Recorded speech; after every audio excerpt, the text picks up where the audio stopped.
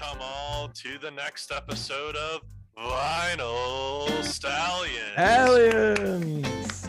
On today's sit down with the Stallions, we got a great guest. It is Rex Larkman. He is the drummer for Tropidelic, and we are pumped to have him. How are you doing, Rex? Uh, I'm doing great, guys. Thanks for having me. I'm stoked. Our pleasure. And Spruce, how are you doing out there in Cleveland? Man, we are living large here in uh, Spruce Studios, uh, having ourselves a time. But yeah, man, Rex, thank you for coming on. I'm very, very excited to uh, have a great conversation with you. And um, uh, so to give a little background again, how uh, Rex was able to come on, our a friend of mine, Abby Seeley, uh, which is a friend of Rex's as well, because Rex oh. is from the Cleveland area. but put us in contact, and boom, here we are about to dive into a sit down. Easy peasy. One, two, three. Yeah. Thank you, Abby. This is cool. Yeah. Shout out. We'll be definitely getting Abby on here pretty soon. But uh, yeah, nonetheless, Rex, man. So you are Cleveland born and raised, and so is Trop. So, so is all a Tropidelic. You guys identify yourself from Cleveland, Ohio. Is that correct? Yeah, yeah. We're we're Cleveland till we die, all of us. Um, the band started actually at Kent State. Uh, I think it was back in like 2008 maybe were the first couple shows. Uh, our singer Rhodes is originally from Pittsburgh, uh, and then he went to college in Kent State back then, and started it as like a hip hop funk group that then grew into reggae. That found a metal guitarist that ended up running into a rapper, and now I come so many different backgrounds of music. It's just a very fun, eclectic bunch of guys coming together making reggae, summer, hip hop, and uh, it's gone through many iterations over the years since 2008. But Rhodes, Matthew Rhodes, our lead singer, he he started it all. Okay, yeah, no, I, I think that's a good way to describe your music because like whenever I listen to it, it's hard for me to put it into one genre. Like there's always multiple genres that it falls into. Um, mm-hmm. And so you joined the band in 2017, was it? It was. Uh, it was the very beginning, I think, of 2018. Okay. Uh, my first show was like at the in at the end of January in 2018, and uh, yeah, I've been with them since. So how did you find them? I grew up in Cleveland, and I played in a bunch of different punk bands uh, throughout throughout the years. Uh, ones I started, ones I joined, and the high school bands and stuff like that. And I would just always play around at a bunch of different venues. And I grew up in Old Brooklyn, which is a neighborhood in Cleveland, and uh, there was a house venue that I found out about that was just like a few streets away, a few blocks down the street, and I'm just like, wow, we got to play here. It was called Plymouth House. It was run by a bunch of my buddies now who also work with Trop or, or play shows with Trop. Like it, it's cool how it all started kind of in a basement for them and us.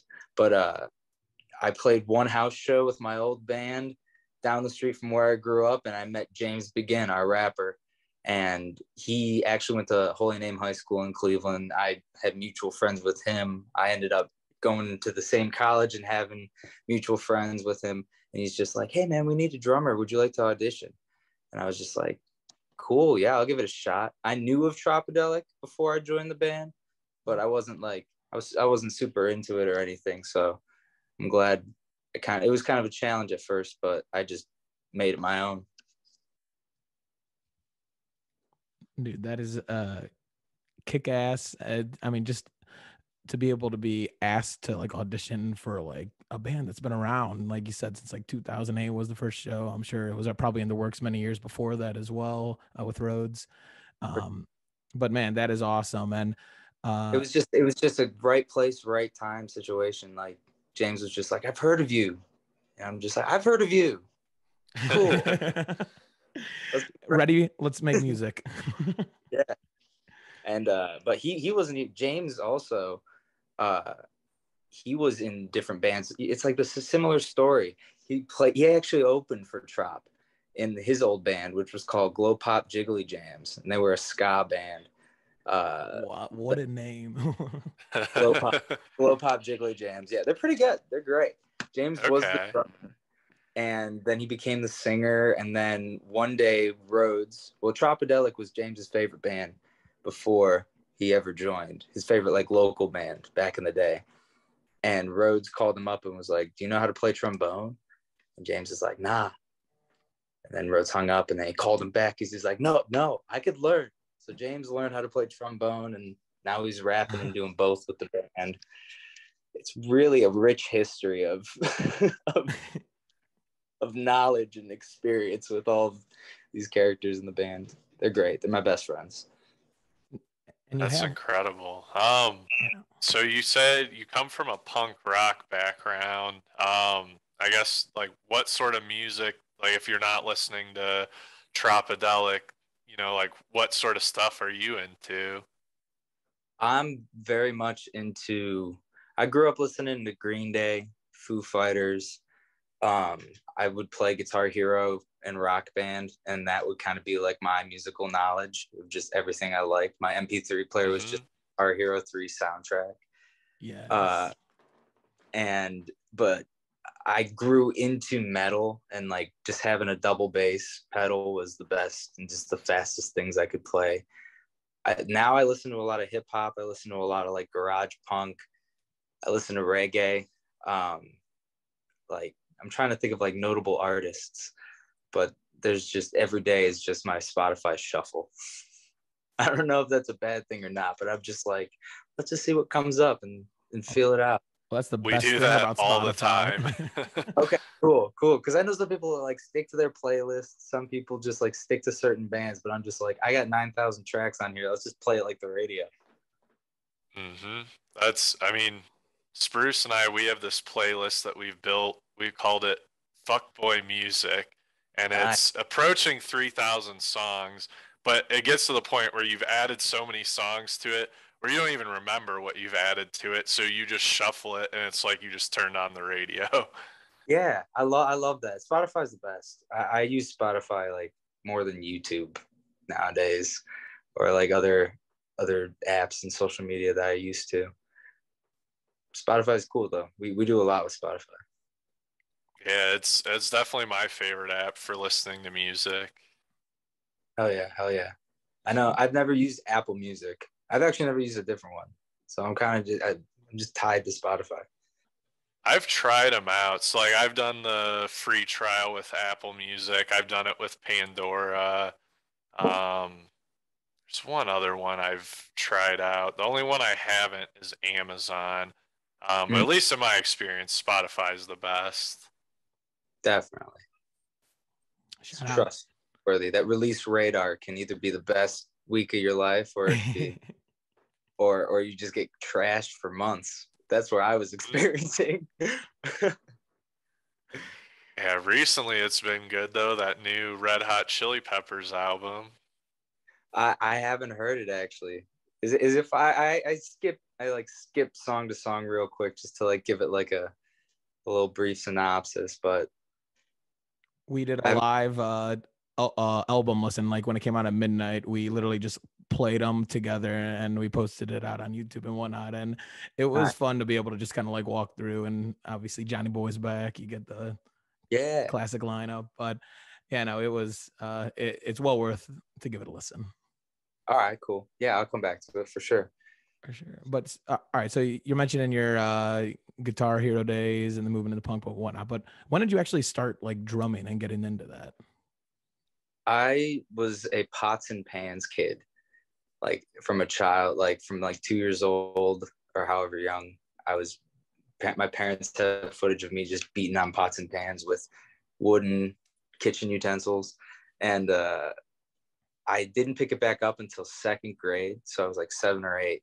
And I jo- joined like the school band and did hot cross buns on a snare drum.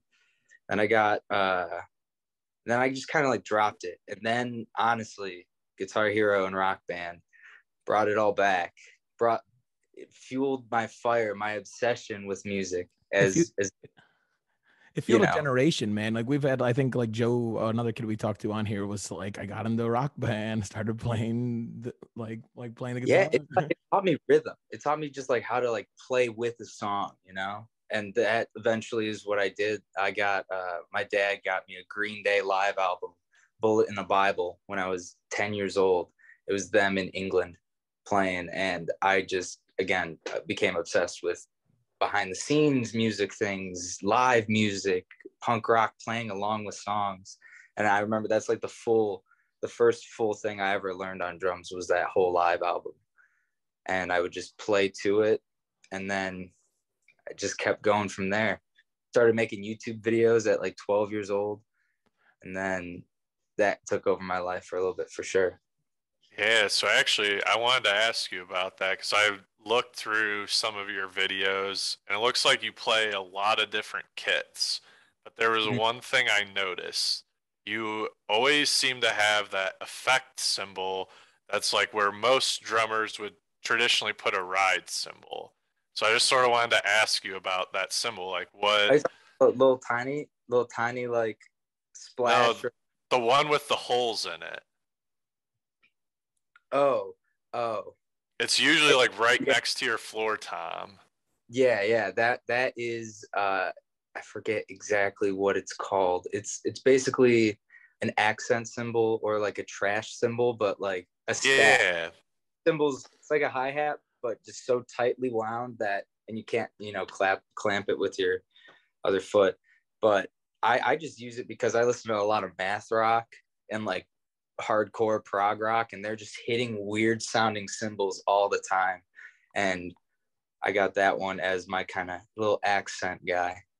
Okay. I love i love that cymbal honestly maybe my favorite cymbal it cracked really bad the other day so but the good thing is it sounds it's supposed to sound trashy so it's okay that it's it still sounds good to me in my opinion even though it's yeah, cracked no, it's the one constant I noticed because I was like sometimes you have like one rack tom, sometimes you got two, like, but there's always this cymbal like right next to the floor tom, no matter what. yeah, yeah, that's oh, that's awesome.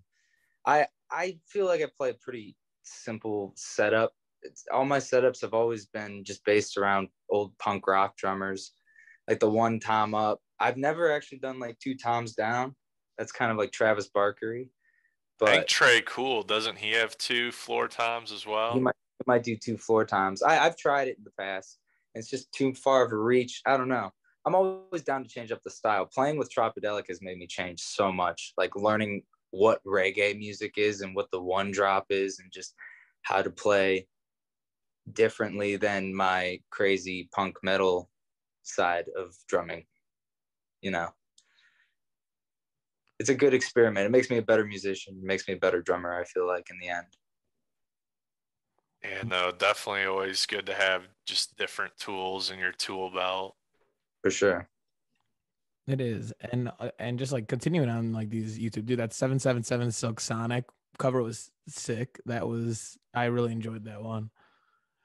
And Thank you. Yeah, that that beat is an in the pocket kind of beat, and Anderson .Paak as a drummer is like one of my new inspirations in music is just like hip hop R and R and B style, and his rapping stuff is inspiring too.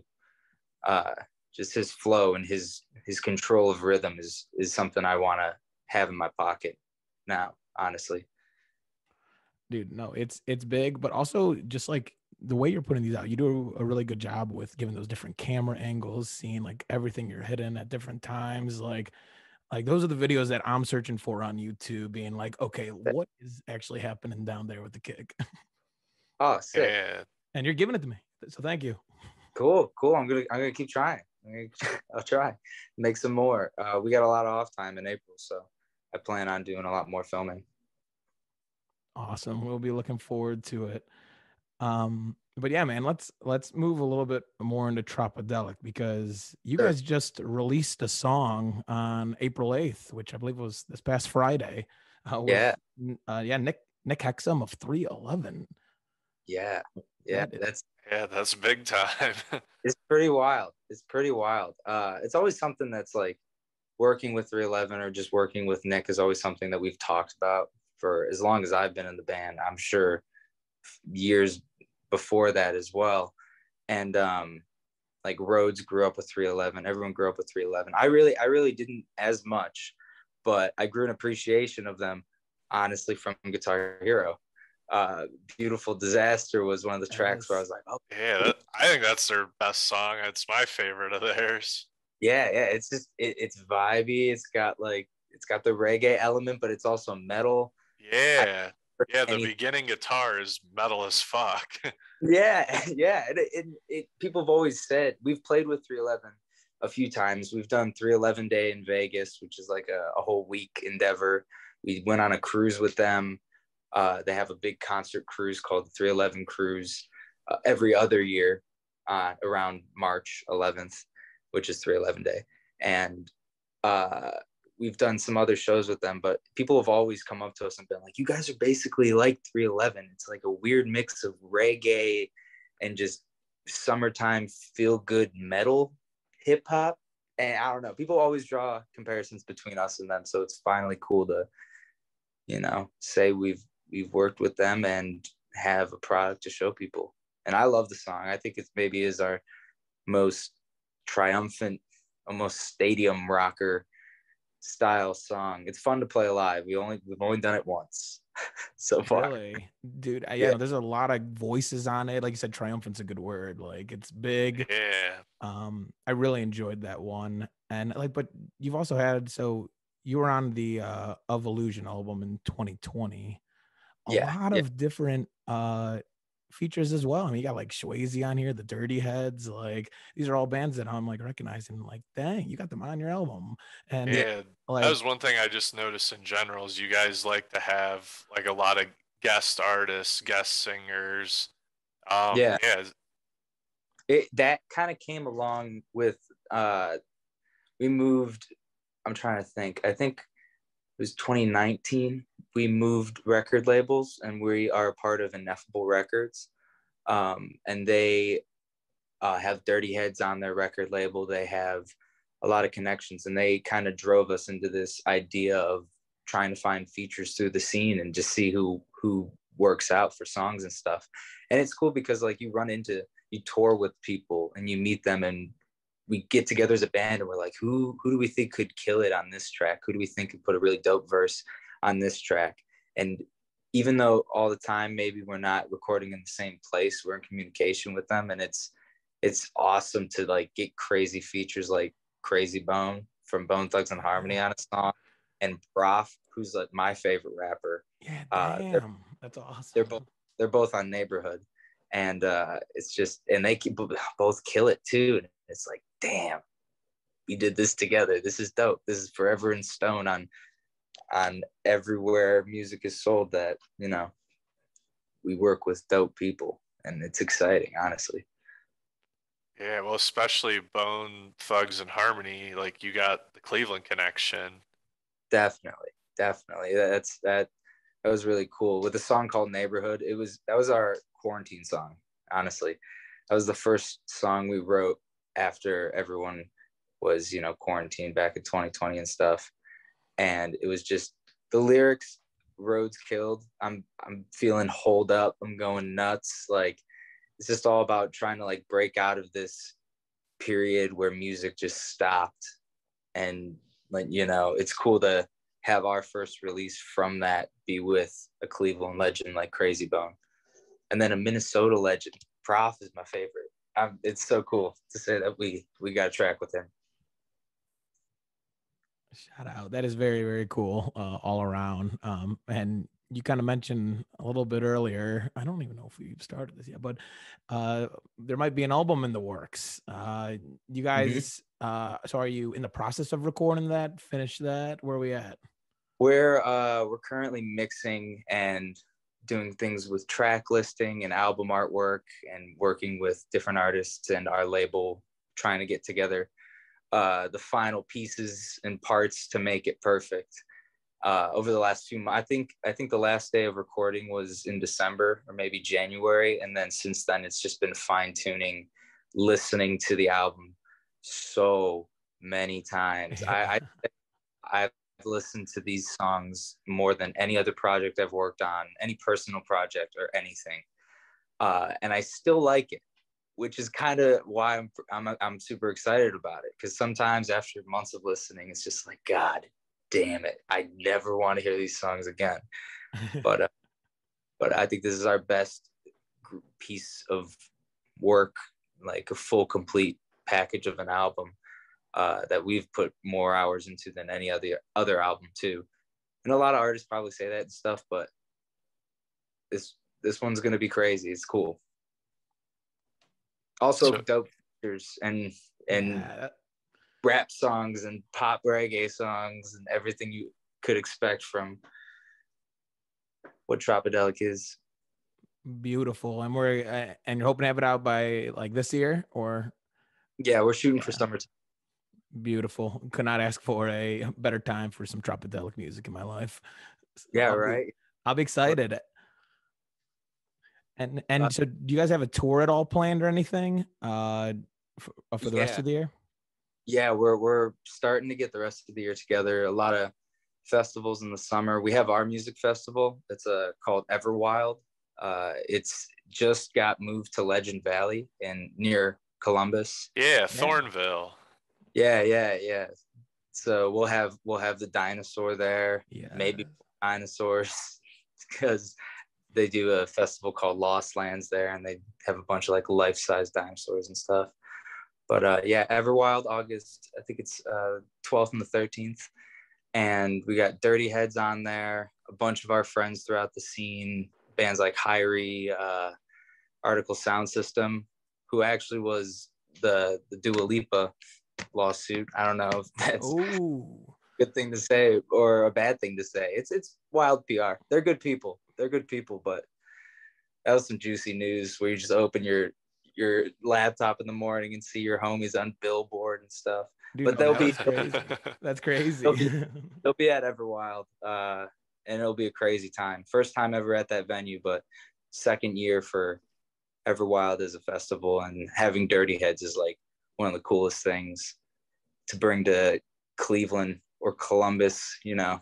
Yeah, it's kind of people travel for Thornville though. Like like there's a festival our uh, we love jam bands like Pigeons playing ping pong and Goose and stuff. And uh, yeah, I think they put on their like Dome Fest, but they just moved it to Thornville this summer. So cool. Uh, yeah, no, it's it's it's a great. I honestly haven't been there personally, but I've heard great great things. And the dinos. Yeah. So yeah, right. Dinosaurs. I need to see the dinos.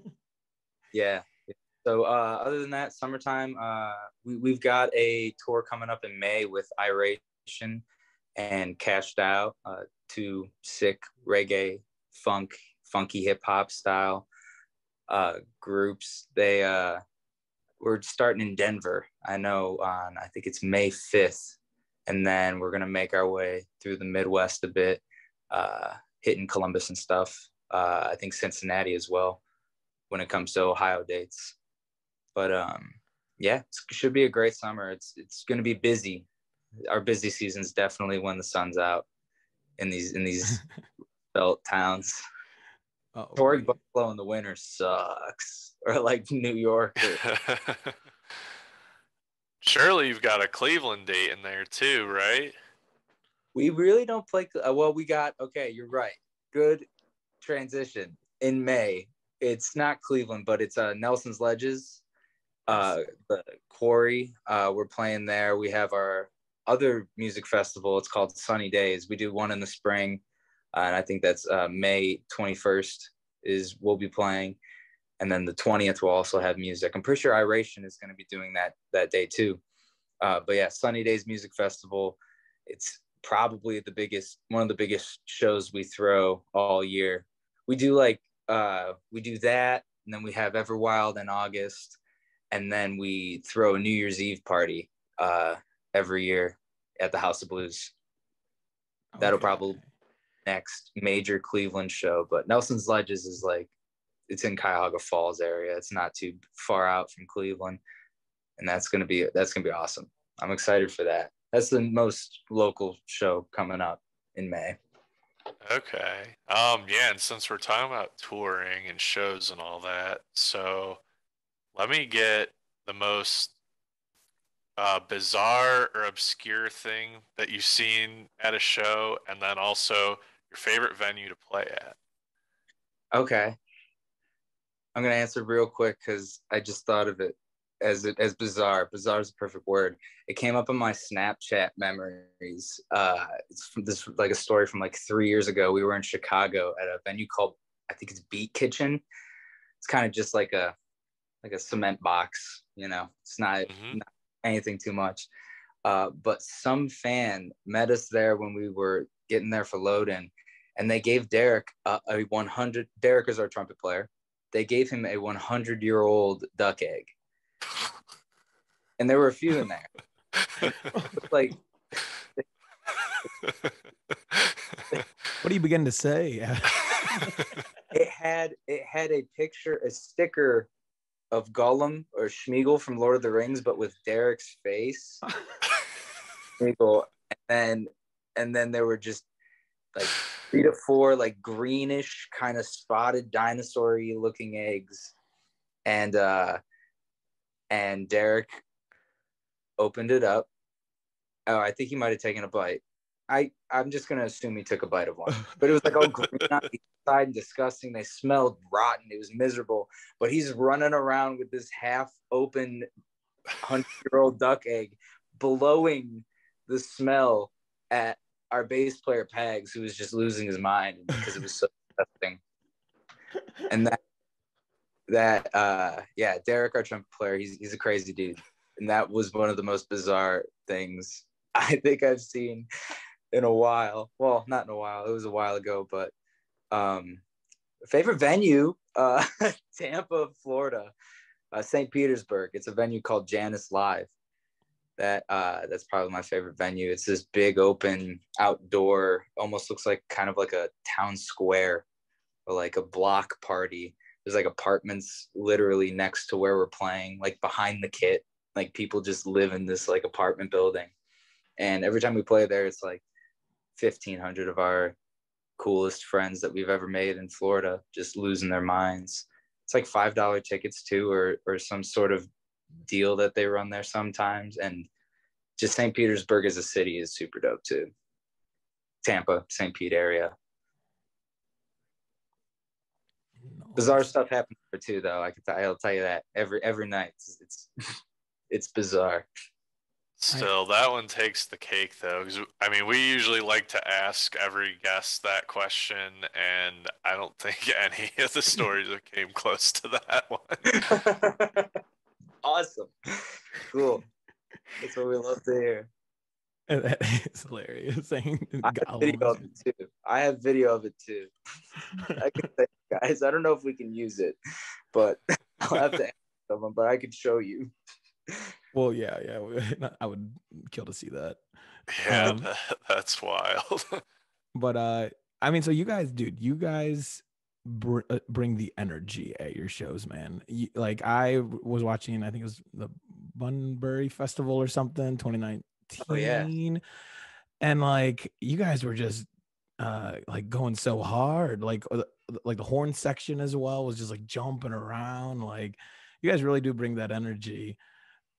Yeah, Um, thank you, thank you. MGK actually played right after us on that stage that year, and it was just like I wanted to go fucking ham regardless. I mean, AWOL Nation was also playing that night. Fallout Boy was on the show. It was like the coolest like cast of bands on a on a festival that I had played at the time, and it was just like, yeah, we're going hard and we're gonna make this sick. And that hands down one of my favorite shows still. And I'm glad the entire thing is recorded Yeah. On YouTube. I, I go back to that sometimes. I'm just like sick. That was a good time for Ohio, you know. Exactly. No, it, Absolutely. that was awesome. And uh, so I, I tried to f- find a video. I I, I could have dug a little bit deeper, but Abby was telling me at some shows because you were traditionally in a band like a drummer. So do you have a Mhm. kit that you will like walk around with? Is that a thing you do? Yeah. Yeah, so we do a whole marching band like section of the show. It's like a quick little side thing near the end, but um when I was in high school at Ignatius, I I played tenor drums, the quads in the marching Mhm. band. And uh James, our rapper, he happened to also play in drumline uh, when he was in high school at Holy Name, and then uh, Derek, our trumpet player, grew up playing tuba, and we were like, all right, we need a bass player, and then our bass player Pags, we got a marching bass drum and learned how to play bass. Then we hooked up like a, a mic to it just to make it like every time you hit it, it make 808 sounds. And you got yourself a drum line. Dude, that is awesome. I always like like with concerts in general, I always say you got to give people one thing to remember, just one. It doesn't have to be anything. And that would stick with me like none other uh, because I've never seen that before. And that's that's unique as shit and and just fantastic. You're like, okay, so you played this, you played this. Oh, okay, bassist, boom, drum line. Yeah. yeah, but Pags, Pags picked up the our bass player's name is Pags, and he picked up the marching bass drum so well. He's like he's a tall dude too, big guy. So just all of us like in unison, just moving around the stage with him is is my favorite part of the show. And like you said, it's it's very much a uh, like attention getter. Like that's my part. I see everyone take out their phones, and I'm like, "Fuck yeah, this is what we do. Show your friends." And I'm and and, and for as a drummer, we'll do it again. and like we, we've yeah. Uh, go ahead. I mean, I'm, I mean, I'm just commenting like uh, from a drummer standpoint specifically. Like you're stuck behind that kit the whole show. Usually, I couldn't even imagine you being like, "Let's go." Yeah, it's fun part. Like we hit the last note of that of the song before it, and I run around the drums, and I get backstage, and I just harness up, and I'm like, I'll, I never thought I would still be doing marching band drums uh, this far into my career, but it's followed me somehow walking around cities like at Loden. We'll just be in downtown Chicago and I'll just be like walking with tenor drums through the streets, like the back of the venue. It's so fun. It's crazy. that is awesome. Yeah, that part that part's fun. We hope to evolve it a lot more in the future. We're working on stuff, but um yeah, definitely a highlight of our live show there's a lot of dancing. There's a lot of crazy things going on. High kicks from our trumpet player. Yeah. Dude, yeah, I I, I remember the trumpet player jumping up and down away. And he says he raps as well. Uh so the dude with the glasses, uh James, he plays trombone. Or trombone. And that's yes, that's what it was. The longer, yeah, the one with the uh and then Derek plays trumpet and Derek just dances around like crazy. He's a brilliant singer too. He does backup, but the other guy, the shorter one, James, he uh, he raps and he's been rapping for the band uh, since the uh, 2015, maybe maybe a little bit before that. Uh, the first release he was on, I think, was Police State, the EP, uh, and he was only 18 when he joined the band too. I was 21 when I joined, so we were some youngins. Yeah, that's that's impressive. Just to be playing out that much when you're that young like that. Not a lot of bands get to do that. Yeah, I mean, they've just Tropidelics has been a driving force in the Cleveland in like whole Northeast Ohio now, further than that, you know, music world. I remember one of the first things Rhodes, our singer, told me that he ever did for Tropidelic was they printed out ten thousand uh, copies of their first record and just handed it out all over Kent, all 10,000 albums. Like they were grassroots from the start. Uh, and by the time I joined, the band had already been a thing for like eight to 10 years or something. So they had the, the like foundation. And since then, we've done some crazy um, years of touring, a lot, a lot of shows. I'm in like a normal year, we'll do 150 to 200 shows. Oh, wow.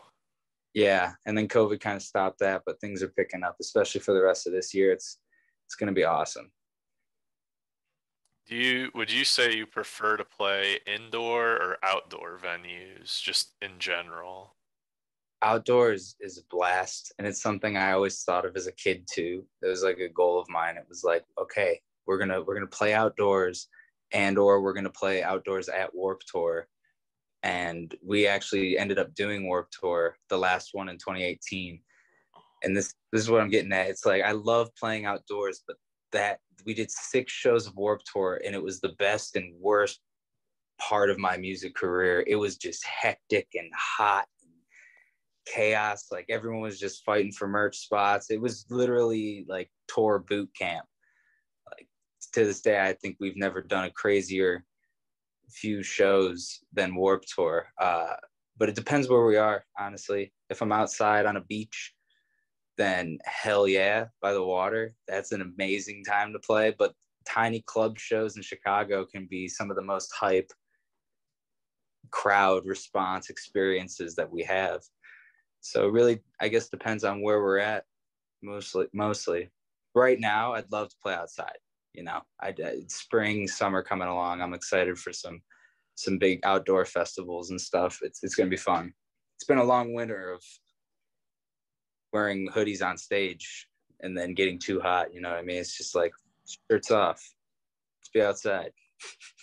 It's it's the Cleveland way right now. These next two months, April and May, we are just clawing at any sort of 50 degree weather and wearing shorts outside. Yeah. yeah. Uh, getting there. Yeah, yeah, yeah. Oh, yeah. We'll, we'll be talking about this in a, in a month again. Um, but uh, so so yeah, so Rhodes uh was one of the founders of the band. It uh when you guys are creating, so like with this new album, was it gen- like so is generally like one person brings an idea to it as Rhodes kind of uh, bringing ideas that he makes or how, how is the process with that with a band with such longevity but you joining within the last what is it now four years five years? Yeah. Uh every album i think i've been a part of in the band has been like slightly different. The first record i was on with Tropidelic was called here in the heights.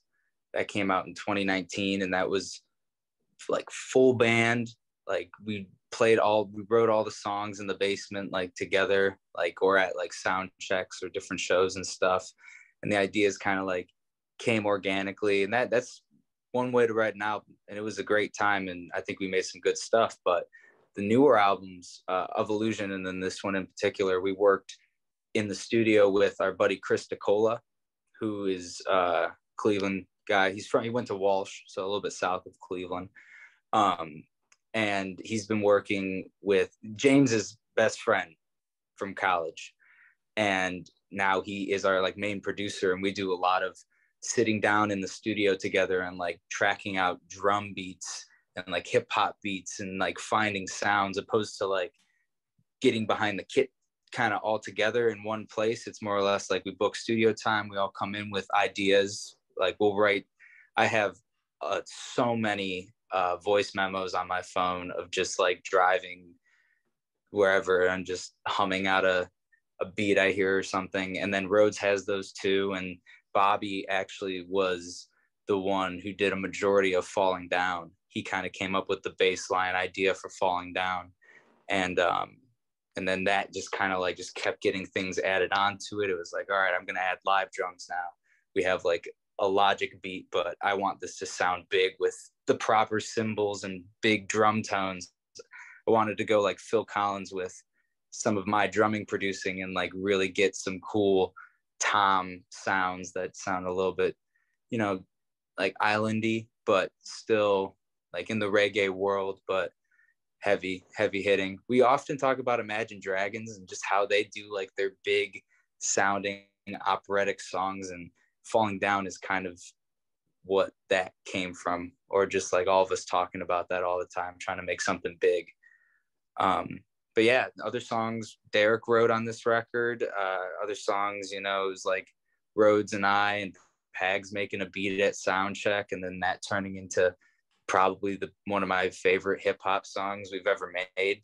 Like as a band, it, it's Rhodes's track, so I'll say that much. Rhodes is Rhodes has got some sick verses in it, and I don't know. It's still everyone's input. It's still like we've got a group message where we are constantly talking together about ideas and mixes and things. Um, this one was written. This one started. We started writing even before Evolution was out. Uh, yeah, so it's been a long time on some of these songs, but I still like them. So that's I'm stoked to show more people. I can imagine at this stage of an album making process, like you just said, like I just want people, like someone else to hear this and just be able Yeah. to talk about it freely and just like, uh, but it's also fun on the other aspect, like like because us as fans, we're like, give it to us, like, but you keep building it up, building it up. So, uh, yeah, no, that is that's awesome. Thank you for that input. Yeah, yeah, it's it's fun. I mean, we're already working on the next next record now too. We're just constantly writing, uh, and just being in the studio, and we're always we got a lot of rehearsal coming up for this, these next few tours. So we're like taking some of the songs on the new album, and like what we've been doing lately is because a lot of the newer songs were made and produced more of a hip hop realm in the studio uh, some parts work for our live show, and then other parts we practice it out, and we're like, I don't know if that's gonna work.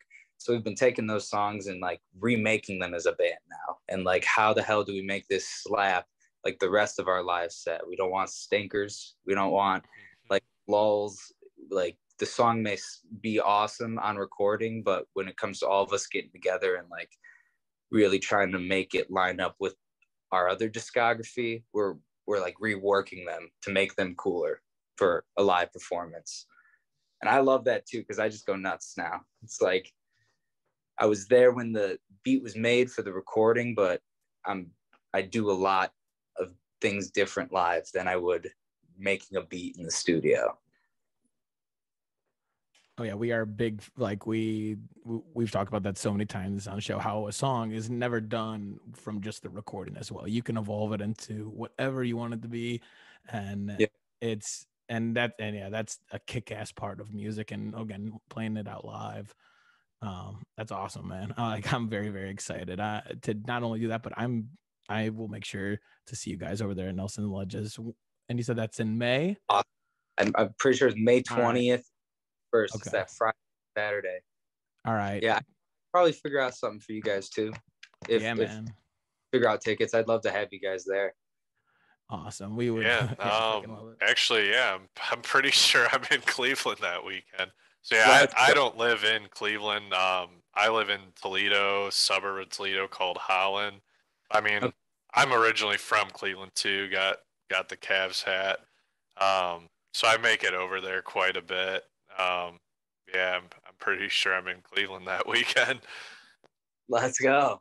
Yeah, that that show's gonna be awesome. A lot of lot of new tracks, new songs will probably be playing there. That won't be out at the time, but we've been we've been working on them. Beautiful, beautiful. Awesome. Well, again, Rex, man, I very much appreciate you coming on. Uh, been a pleasure. Uh, I don't know, just chatting up, hearing your stories. Um, Yeah.